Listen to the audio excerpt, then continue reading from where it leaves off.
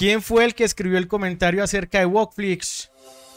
Que yo espero que Walkflix qué? Ah, Diego San. Yo espero que Walkflix no esté de rodeo. Dice Diego San.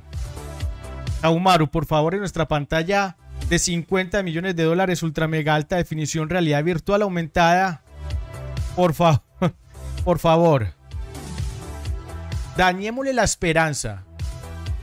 Las pocas esperanzas. que hay acerca de Walkflix. Walkflix no va a rectificar.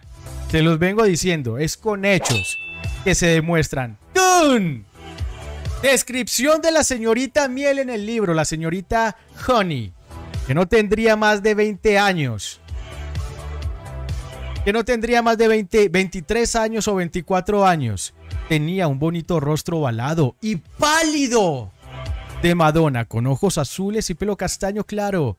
Su cuerpo era tan delgado y frágil que daba la impresión de que si se caía se rompería en mil pedazos, como una figurita de porcelana. Era una persona pasible y discreta, que nunca levantaba la voz y a la que raramente se veía sonreír, pero que, sin duda, tenía el don de que la adoraban todos los niños que estaban a su cargo.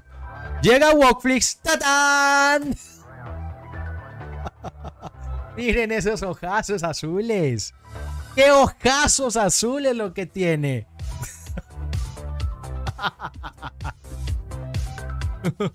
ah, me encanta dañarle la esperanza a ustedes. ¡Ey, recuerden! La esperanza es una de las calamidades de Pandora para los griegos. Es una calamidad. Ellos iban con la certeza, no con la esperanza. De nada. Aquí sucede Chodan Cinturón Negro, mostrándoles lo duro que es la realidad.